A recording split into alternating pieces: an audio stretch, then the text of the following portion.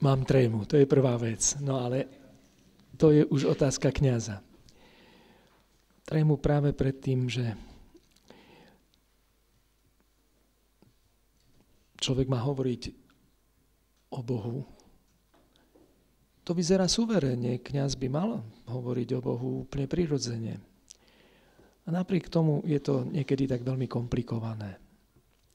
Aby sme nezostali iba pri teórii, aby sme nezostali iba pri frázach a aby sme išli hĺbšie.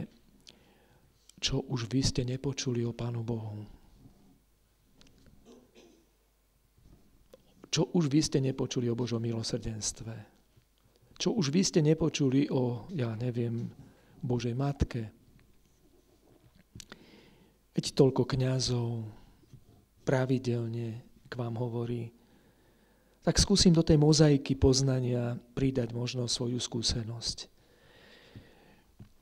Rozmýšľal som, o čom hovoriť a som si povedal, budem, budem hľadať odpoveď na otázku ľudského života. Čo to vlastne s nami Boh chce? Nájsť zmysel, to je to asi najťažšie. Čo s nami Boh chce? Aký má zámer s nami? Ak teda sa otvoríme pre fakt, že Boh je, tak teda pýtajme sa, čo s tým? Čo s našim životom? Na to sú rôzne odpovede. Veľmi sa mi páči príbeh jedného, veľmi aj mi odpoveda na tú otázku, jedného spisovateľa amerického, psychológa, kniaz, teda pastora, Roberta Folgema. Myslím, že Falgem sa číta, neviem presne. Kto vie lepšie, tak mi povie. Ale fakt je jeden, že tento autor napísal niekoľko krásnych kníh a čítal som jednu takú skúsenosť jeho. Bol to človek, ktorý, teda je to človek, ktorý sa veľmi angažuje pre, pre Božie slovo a, a pre pokoj vo svete. Je taký nositeľ zmierenia. A raz hovorí, že ho zavolali na jedno medzinárodné stretnutie na Krétu. Jeho Američana na Krétu. A vycestoval, pricestoval. Autor toho pozvania bol doktor Alejandro Papaderos. Grék jak vyšitý. A on teraz, eh, to bol človek, ktorý bol šéfom inštitútu, ktorý, sa, ktorý bol taký inštitút mieru, pokoja. Bolo to práve na Kréte, pretože Kréta bola počas druhej svetovej vojny úplne podriadená Nemcom a tí ľudia na Kréte, ktorí tam žili, maličký ostrov, eh, nevedeli ináč vzdorovať voči, voči eh, Nemcom, keďže ich bolo málo a nemecká presila tam bola, tak im vzdorovali nenávisťou. Oni ich nenávideli. Dávali im cítiť jednoducho to odmietanie, odmietali ich vnútorne. Čo sa stalo? boli, všetci boli tým postihnutí. Proste ono sa to dedilo. A on hovorí, že vyrastal, vyrastal ten, tento Alejandro Papaderos, vyrastal v takej atmosfére. A že ako náhle vojna skončila, alebo teda už sa išlo ku koncu, už Nemci cítili, že teda budú musieť uísť odtiaľ. A že on ako dieťa sa na, na ulici hral a hračky neboli žiadne tak si našiel niečo, čo sa trblietalo. Po nejakej motorke či aute, po spätnom zrkadle, tam zostali stopy. Kus úlomku zrkadla. No a samozrejme, že on, a ja som si doniesol, to sledujem vždy, či náhodou sa nestal zázrak a do rana mi nenarástli vlasy. Ale on to, on to mal pre iné.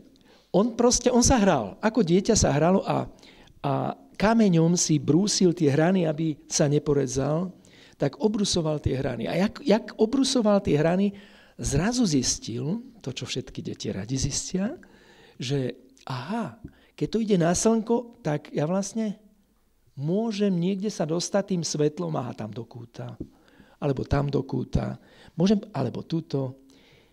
A on zrazu bol z toho v šoku. A hovorí, že to dovtedy vôbec nevedel, aký to bude mať vplyv na jeho život. Práve vtedy uh, hovorí tento americký autor, ten Robert, hej, ten, hovorí, že tomu pomohlo pochopiť jeho zmysel života. Na tomto príbehu toho Alejandra Papadera hovorí, objavil zmysel vlastného života. A hovorí, objavil som jedno, že Boh ma chce asi použiť ako nástroj, aby sa cez mňa svetlo slnka dostalo na to miesto, kde by sa ináč nikdy nedostalo. Kde by sa nejak ináč nikdy nedostalo. Keby ste tu mali reflektory, tak by bolo lepšie. Až tam do, kon, do kúta by som zasvietil. Ale pravda je taká. A on hovorí, ja som pochopil, že vlastne toto je moja úloha. Toto je zmysel môjho kráčania v tomto živote, v tomto svete. Prijať svetlo, ja nie som slnko, prijať svetlo zo slnka a, a proste odraziť ho. Prinášať svetlo do tmy. Milovaný, keď som rozmýšľal, zdá sa mi, že v tomto vidím zmysel aj vlastného kráčania životom. Tej tmy je dosť. Viete, múdri povedali, že lepšie je začať jedno, jedno svetlo, ako jednu zápalku, ako nadávať na tmu. Našou úlohou je prinášať svetlo. V tomto priestore medzi týmito panelákmi, tak silne konzumovanom, orientovanom na konzum, čo už moderný človek, zrazu sa tu začína, začína rásť jeden, jeden znak čohosi, a vy sa okolo toho znaku grupujete. Zmysel vášho života, zmysel tohto chrámu, ktorý ešte len tu rastie, bude práve tento. Zrkadliť. Zrkadliť svetlo, majak do tmy. Nádherné, nádherné poslanie. Inými slovami, Jan Pavol II to hovorí tak, že Ježiš, to je to naše slnko, Hovorí, že Ježiš nič iné od, od nás nechce, nikam inám nás nechce priviesť ako ku nádhernej ľudskosti. Nádherná ľudskosť. Krása ľudskosti. My sme boli zvyknutí, že keď sme sa modlili, modlievali, tak sme si zažmurili oči, aby nás nič nerušilo. František, ten náš brat z Ríma, Svetý Otec hovorí, keď sa ideš modliť, otvor si oči. Modlitba ti musí otvoriť oči. Stretnutie s Bohom ti musí otvoriť oči, aby si zrazu videl. A čo? Aby si videl tu, ten smet ľudí práve po tvojej ľudskosti, po tvojej krásnej ľudskosti. Buď znakom krásnej ľudskosti. Zrkadli tú Kristovú ľudskosť. Zrkadli to, toho, o kom hovoríme, že je milosrdenstvo samé.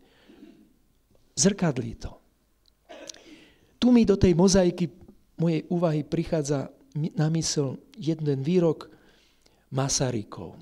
Nebol nejak veriaci. Aj keď mal církevnú školu za sebou. Absolvoval piaristické gymnázium, z okolností teda naše, no žiaľ.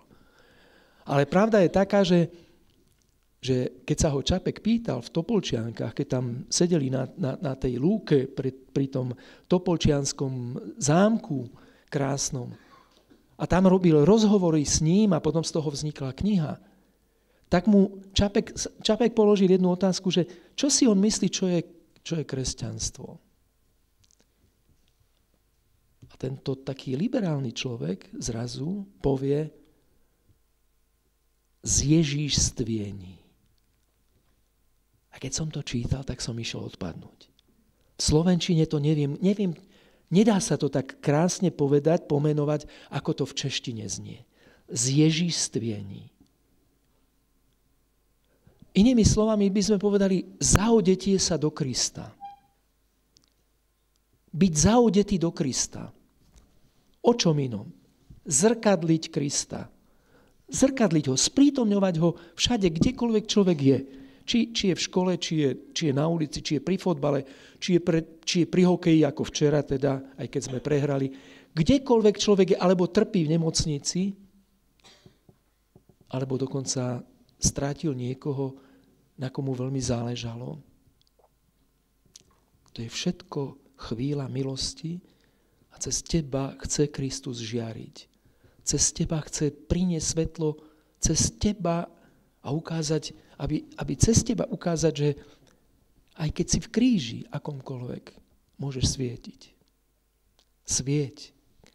Daj priestor Kristovi, aby svietil cez teba, aby každý videl, že, že Ježiš s Ježišom prežíva že všetky udalosti života. Náboženstvo je strašne ďaleko od teórie. Teória je potrebná, ale, ale až potom, keď, sa to, keď je to podložené životom. Dobre je vedieť všetky tie otázky, odpovede, náboženské tézy. Je to dobre vedieť, potrebné samozrejme. Nemôžeme ich poceniť. Ale nezostať pri tom. Tu nám ide o zježišstvenie.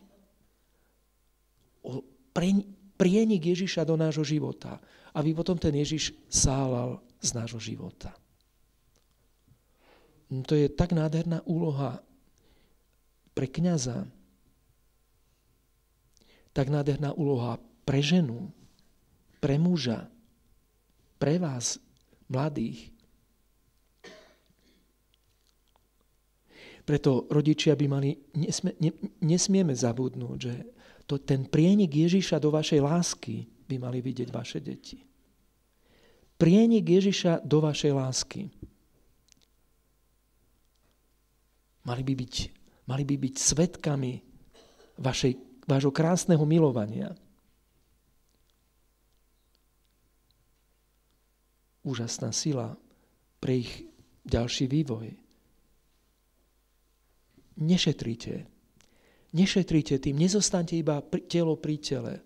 Nechajte vstúpiť Krista, nechajte sa zaudeť, zaudeť Kristom. Tú vašu lásku nechajte preniknúť Kristom, nech, nech vám to presvieti. A vtedy vaše deti budú žasnúť a budú, budú hovoriť, my sme hrdé. My sme hrdé deti na lásku našich vlastných rodičov. Z Ježišstviení. Čaká nás zajtrajší deň. Nevieme, čo príde. Pre vás príde najväčšia slávnosť hodová. Budete stolovať. Skúste si povedať, tak dáme si do programu života tento fakt. Čo keby sme sa tak pokúsili o to zježístviení? Byť zaodetý do Krista. To znamená žiť z jeho slova, konať jeho lásku, sprítomňovať, mať oči otvorené pre človeka. Lebo vy viete, čo povedal svätý otec Jan Pavol II, to vtedy dávno, dávno hovoril, bojím sa človeka, ktorý, e, ktorý prestane veriť v Boha, lebo nielen, že sa stane bezbožný, ale stane sa aj neludský. Bez Krista sa nám stratí krása ľudskosti príťažlivosť. Príťažlivosť, tá, tá nádherná, nádherná tvár radostného, zmyslom naplneného života. Milovaní, aby som vás neunavil, skúsme. Vždy je to dôležité poďakovať Bohu za to, že, že nás posúva. Stále nás posúva hĺbšie, ďalej, od, tej, od tých fráz náboženských k tej živej, živej pravde, k tomu živému, živému nejakému vzťahu s Bohom a živému vzťahu s ľuďmi. Čaro tohto, tohto priestoru, viete, nádherný ste. To, vaš, to čaro je vaša blízkosť. Ale sme v nebezpečí, že my môžeme byť fyzicky veľmi blízko pri sebe, ale dušou môžeme byť neskutočne ďaleko. Nepripuste to.